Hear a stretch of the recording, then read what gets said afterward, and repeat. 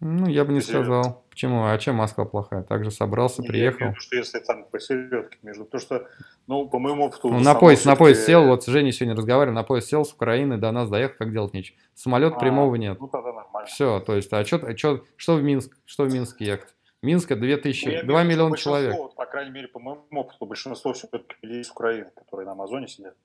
Ну, России меньше. я не знаю, я как бы Россию качать хочу. Мне Украина, она раскачана, ну, круто. Я слышал очень много в Украине дропа, онлайн-арбитража. Мне вообще эта тема не интересна абсолютно.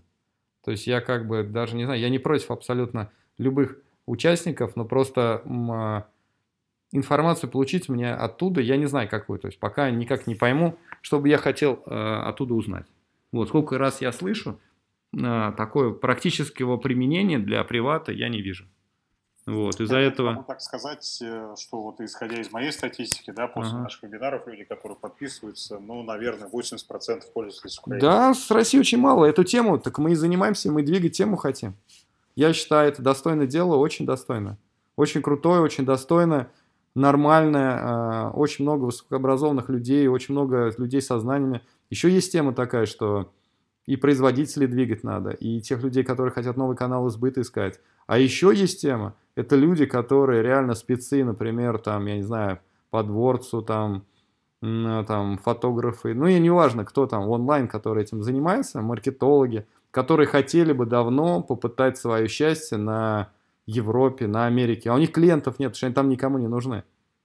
А клиенты, которые у нас там какие-то производители, они сами толком не знают, это или монстры какие-то вылазят, или еще кто-то, или еще кто-то. А у нас здесь все, все вот эти вот люди, это клиенты вот этих людей. В Америке нам нанимать тоже не, не просто, это денег серьезных стоит.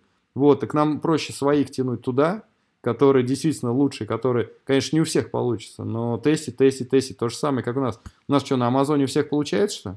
Ну, это только, наверное, на рекламных брошюрах. Там, я не знаю, заплати 2000 за обучение, 3000 вложи в товар, сделай 10 э, отзывов и запусти PPC. Ну, блин, так, мне кажется, уже все понимают, что это не работает, это не рабочая схема.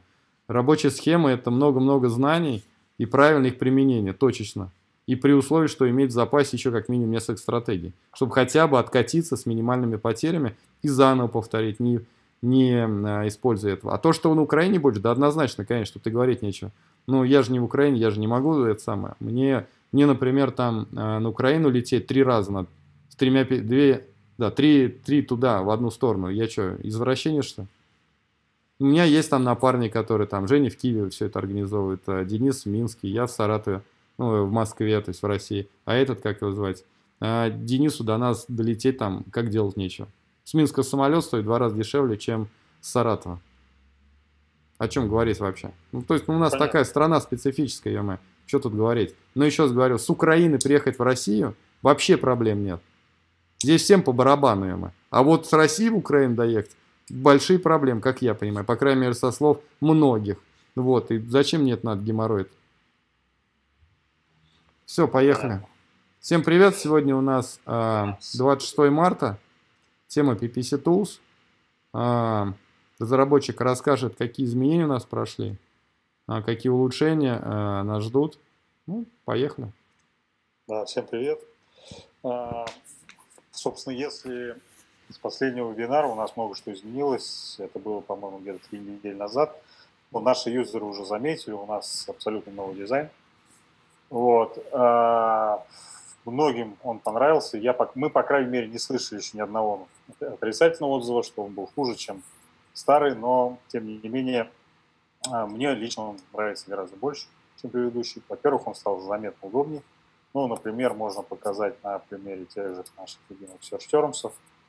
А, Стало все гораздо удобнее, все стало информативнее и, ну, красивее, можно сказать так, но самое главное, что влезает много информации в один экран, и все, все данные, они получаются под рукой. А сегодняшний вебинар я хотел бы посвятить, собственно, то, чего мы каждый раз посвящаем. Это у нас, я так понимаю, 80% людей, которые нас слушают, это, ну, не скажу, что новички, но люди, которые не э, слишком давно пользуются PPC, не очень, скажем так, это не гуру PPC, а люди, которые, собственно, начинают только а, свой путь. А вот кто, кого-то я там слышу все время. Сейчас я посмотрю, уберу секунду. Так, мутол. Включи микрофон свой. Да, включил. Поехали. Все, теперь мне слышно отлично. А, основное изменение, то, что произошло, те, кто с нашим софтом пользуется, они это заметили. А сейчас я хотел бы рассказать о основной фишке, которая как раз вот сейчас оно в бете, мы завтра его, вот этот семинар будет показан, как это все работает, завтра мы будем выкладывать. У нас новый функционал, это вот, собственно, то, о чем я рассказывал в предыдущем вебинаре, то, что мы делали, учились делать руками, мы вводим этот функционал, который будет это делать все автоматически. А, в основном аккаунте сейчас его увидеть нельзя, он появился только в бете. В бете вы так, также имеете доступ, вы можете тестировать, но мы планируем завтра уже его выкатить на основной. О чем идет речь? Вот я сейчас в наших бете трех восьмерках. Так, меня разлогинило, сейчас обратно залогинюсь. Секундочку. Залогинило. Ну, пока она там логинится, залогинится. А, напомню, о чем у нас была речь на предыдущем вебинаре. Мы рассматривали стратегию, а, которую вел еще Брайан, ну и, собственно, она сейчас рабочая. Это стратегия с тремя, типами, тремя уровнями компании. Первый уровень компании – это компания, так называемая Discovery, то есть это когда мы берем автоматическую компанию, автомат, и Amazon для нас добывает какие-то новые ключевики. И мы смотрим на поведение этих ключевиков, на, точнее не на ключевиков, но поведение этих search Ну, собственно, здесь мы как раз это рассмотрим. Меню компании. Еще раз напомню, это бета, у всех есть доступ к бету, кто хочет пользоваться бета, ради бога, просто надо добавить три восьмерки. Есть три восьмерки, вы получаете доступ к бете. Если вы не хотите беты, вы тот же сам функционал получите завтра ближе к вечеру на основной версии. У нас появились три новых кнопки. Это New Discovery Campaign и New Research Campaign. Собственно, что такое Discovery Campaign? Кто не смотрел прошлый вебинар или забыл, я еще раз объясню. Это компания, которая, а, собственно, собирает все а, ключевики, которые могут нас, не ключевики, а search terms, которые нас могут, в принципе, заинтересовать. Как она, эта компания выглядит? Это обычно автокомпания. То есть вы фактически стартуете для своих продуктов новую автокомпанию. Бит там достаточно небольшой, то есть до 1 доллара там может быть бит. Но если у вас супер высококонкурентный продукт, то может там быть ближе к 2 долларам. Но обычно его там 0,75-1 доллар ставит бит. Э, и в бюджет, ну там может быть 10-20 долларов в день. То есть это в принципе небольшой такой бюджет, и компания сама по себе небольшая. В чем ее основной смысл? Она для вас, то есть нас Amazon для вас автоматически на основании релевантности вашим а, вашему листингу начинает подыскивать вам а, search terms, ну, то есть фактически ваши будущие ключевики. Как, и определенным образом, я опять же рассказывал на предыдущем вебинаре, вы начинаете из search term репортов, если вы пользуетесь там Excel или ручными как-то скачиваете отчеты, вы все это начинаете потихонечку собирать. Либо, если вы пользуетесь нашим функционалом, вы можете просто это все э, делать автоматически. То есть фактически все то, о чем я говорил на предыдущем вебинаре, мы сейчас сделаем, чтобы это происходило автоматически. Как это выглядит? Выглядит это следующим образом. Сначала мы ставим default bit, это ну, какая-то ставка по умолчанию 0.75, это, ну, это фактически мы образуем новую компанию. В эту новую компанию мы ставим сначала какую-то э, ставку по умолчанию, здесь же мы определяем дневной бюджет, и здесь мы начинаем выбирать продукты, собственно, которыми которые у нас будут входить в эту Discovery компанию. Ну, здесь, если у нас, например, ну, здесь какие-то тестовые продукты лежат, фактически не продаваем. Ну, вот, например, у нас три различных осина. Этот один и тот же товар, это три чайлда одного и того же товара. Каждый, то есть при создании этой компании каждый чайл будет помещен в отдельную от группы. То есть фактически у нас, когда создается, я сейчас не буду Save Changes нажимать, но если я найму Save Changes, то создастся автоматически компания, в которой будет три от-группы, в которой будут вот эти три наших осила находиться.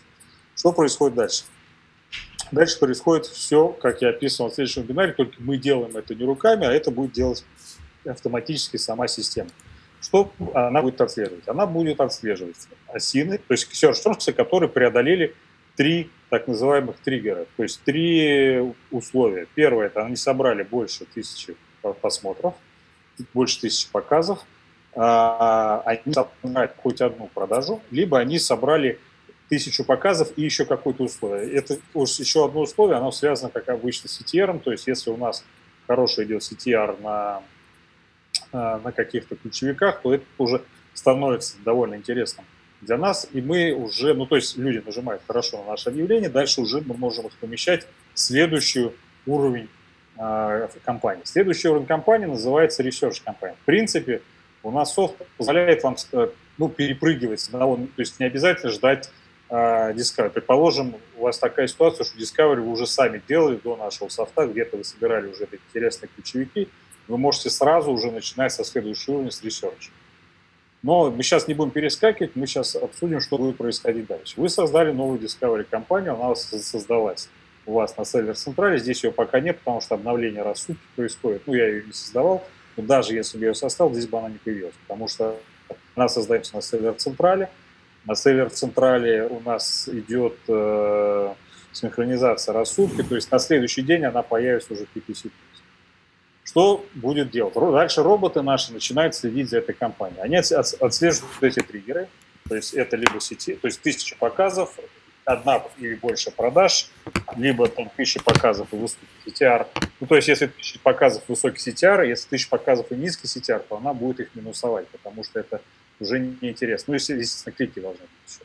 А, то есть она будет минусовать эти слова, потому что они уже неинтересны, низкостиарные слова уже, они будут на вот этих подходах отсекаться. А дальше будет происходить следующее. Каждое интересное, потенциально интересное слово, которое будет найдено в Discovery компании, наша система автоматически будет помещать в Research компании. Как это выглядит? А, когда вы зайдете в сервер Central, у вас, вы увидите, у вас будет создано с таким же именем, предположим, это будет название там Discovery, список осинов, ну там либо это если у вас один осин, то один осин, если их несколько, то там будет какой-то а, рандомная цифры. А, и дальше с точно такими же ID, с точно такими же цифрами будет называться еще одна компания Research, куда будут складываться все интересные слова и Discovery Campaign. То есть чем, чем это, ну не круто, но чем это удобно? То есть вам не нужно самим сидеть и постоянно выискивать. То есть обычно как это все происходит? Вы руками создаете эту автоматическую компанию, потом идете, ну, либо, опять же, если вы не пользуетесь каким-то автоматическим софтом, вообще в Excel все эти выискиваете.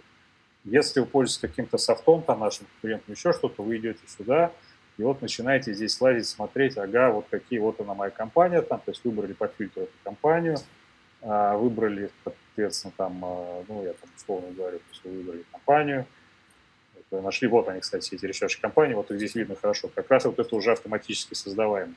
Дальше вы уже начинаете все. У нас с новым функционалом это делать не обязательно, потому что система будет автоматически таскать эти слова и создавать автоматически research компанию. Теперь вернемся, а, ну, то есть, еще раз, это все то же самое, что вы делали до этого руками, то есть теперь это уже происходит автоматически. То есть система сама для вас отбирает все потенциально интересные слова и складывает их в новую research-компанию. Причем как она их складывает? Складывает она теперь следующий образ. Research-компания – это компания по исследованию уже конкретных матч-тайпов. То есть, предположим, мы нашли какой-то интересный э, search term, ну, предположим, если мы торгуем там, э, не знаю, там, чехлами для iPhone, то это там iPhone Cases, мы нашли этот интересный search term, и теперь в research компании создается от группы под каждый child async. То есть если у вас там красный, синий, зеленый, предположим, а, чехлы, то под каждый из них создается, то есть всего у вас будет 9 групп. То есть под синий чехол будет группа там exact, phrase и broad, то есть под, э, соответственно, три матч тайпа. То есть, и под каждый следующий осин у вас будет создаваться новый отгруп. Ну, что будет происходить дальше? В этой research кампании уже новый набор триггеров. То есть это следующий этап, это те э, непонятность, который мы вытащили из Discovery, то есть мы не знаем, как они себя ведут, в каком они матчтапе хорошо себя ведут, в каком не очень. Вот следующий этап как раз, который длится порядка месяца, мы смотрим на эти ключевики, и мы понимаем, насколько хорошо они работают, если у них, э, какой у них CTR, какой у них э, конверсия, какая у них там кос и так далее. То есть это исследовательские компании, которые, опять же, работают точно на таких же триггерах, но с несколькими другими параметрами, как работает Discovery Campaign. Но в данном случае, отличие от Discovery, то есть здесь мы уже их смотрим по каждому конкретному матч-тайпу. Да, еще забыл сказать, что когда мы перетаскиваем, предположим, отсюда сюда, во-первых, мы не перетаскиваем никогда сины конкурентов, потому что это бессмысленная совершенно вещь.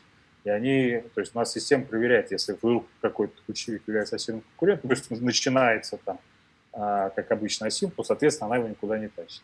Вот. А второй момент, что она их, а, соответственно, в research компании, когда мы уже в основную profitable компанию вытаскиваем, она еще дополнительно минусует, чтобы там не было никаких пересечений.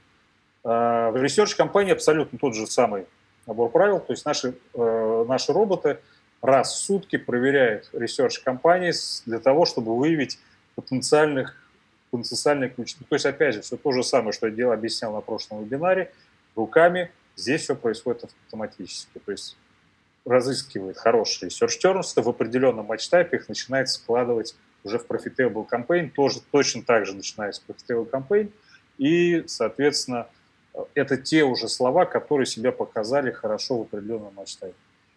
Длительность research-кампании обычно составляет где-то порядка 4-6 недель. Опять же, это все можно регулировать. Там у вас будут настройки, вы можете регулировать все эти триггеры. У нас там по умолчанию стоят те, которые, в принципе, о которых я рассказывал на прошлом вебинаре. То есть ETR отсекной для Discovery 0.7, для Research 0.4. А, соответственно, вы все можете сами настраивать, то есть зависит от вашей ниши, то есть, может быть, у вас какие-то другие цифры работают. Это все настраивается, это все можно делать. Ну и самый последний пункт, здесь его опять же нет, profitable компании нет смысла здесь создавать, это обычно можно создавать компанию. А, соответственно, это profitable campaign, она так называется, profitable, потом код очень, э, собственно, тот же самый, который был в Research и Discovery.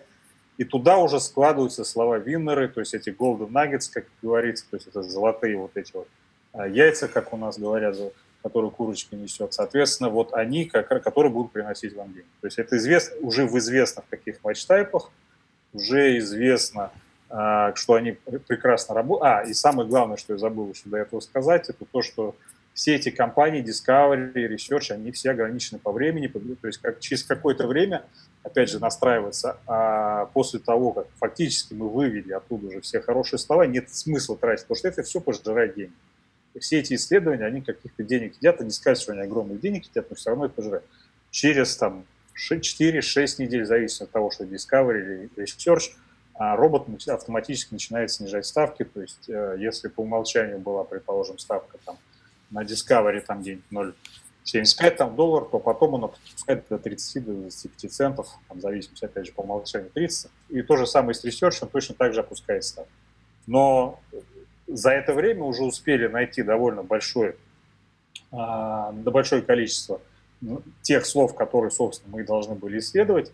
И после этого уже в профитейловых компаниях уже, ну, самое правильно поставить на автомат, но опять же вы можете сами регулировать ставки и так далее. Еще момент. Например, Research Campaign, почему он отдельно, почему нельзя было только Discovery, почему можно иногда перескакивать, начинать сразу с research? Потому что, например, все вот эти сервисы типа Sonara, типа MerchantWords, которые типа там, Google AdWords, у вас уже есть какой-то. То есть не обязательно ждать Амазона, когда вам прилетает какой-то список слов. Вы можете взять там с любого сервиса, с Sonara, там, э, какой-то длинный список слов предположим. Но вы, опять же, не знаете, в каких матч-тайпах они работают, в каким вообще работают они для вашего товара или нет. Просто у вас вот есть этот какой-то список, непонятно. Что вы делаете? Вы точно так же загоняете в Research Campaign сюда. То есть вы подгружаете вот этот сторонний список слов и начинаете его исследовать. Точно так же он будет смотреть по тем же самым осечкам. То есть просто он не забирает из Discovery эти слова, а вы уже его хм. подгружаете и смотрите, что происходит. А, по тем же самым правилам. То есть вы в Research компанию еще можете добавить эти слова. Это что касается функционала. То есть, еще раз, это делать не обязательно. Вы точно так же можете, как вы всегда делали, просто это наш новый функционал, который, в принципе, если вы начинаете какой-то новый товар, когда у вас, или вы просто начинаете знакомиться с PPC, может вам помочь. А, еще раз, на основном сайте его еще нет, есть он на бете. Мы не советуем для крупных каких-то компаний и так далее, поэтому лучше дождитесь. У нас там завтра, послезавтра он появится на основном, просто сейчас анонсировали – и, соответственно, вы уже сможете этим пользоваться, настраивать